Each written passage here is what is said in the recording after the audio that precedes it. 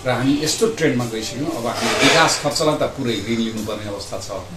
हाम्रो चालु खर्च हामीले तलब भत्ता पेन्सनहरू दिनलाई पनि अब ऋण लिनुपर्ने अवस्थामा हामी पुगेका छौँ।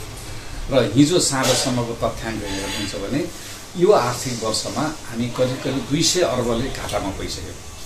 भन्दाखेरि हाम्रो सरकारले गर्ने खर्च जुन पुँजीगत खर्च चालु खर्च र हामीले उठ्ने राजस्वको अन्तरै दुई सय अर्ब गइसक्यो।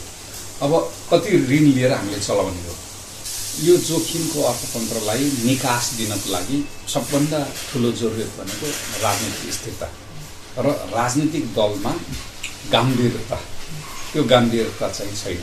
त्यो सिरियसनेस चाहिँ छैन। जसरी सरकार बनाउनलाई गठबन्धन बनाउनलाई चुनावमा सिट बाँड्नलाई जुन किसिमको गम्भीरता हामीले देखेका छौँ तर यो देशको अहिलेको जटिल आर्थिक मुद्दाहरू सम्बोधन गर्नलाई त्यो किसिमको दलहरूको चाहिँ देखिएको छैन।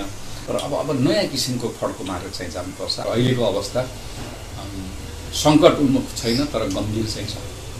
तिन दर्जन कानुनहरू जसले लगानी विकासलाई अवरोध गरेका छन् त्यसमा संशोधन गर्नु पर्यो अब हामीले तिन सय अस्सी अर्ब रुपियाँ विकास खर्च छुटाएका छौँ।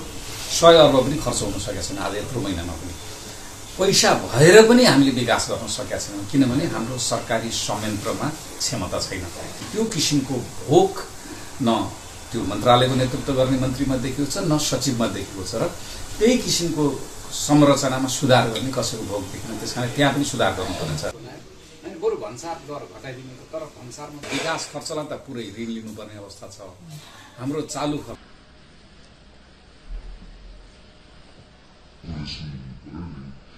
सरकारसँग होइन सबै चक्रमा हामी तल झर्छौँ विकास खर्चलाई त पुरै ऋण लिनुपर्ने अवस्था छ।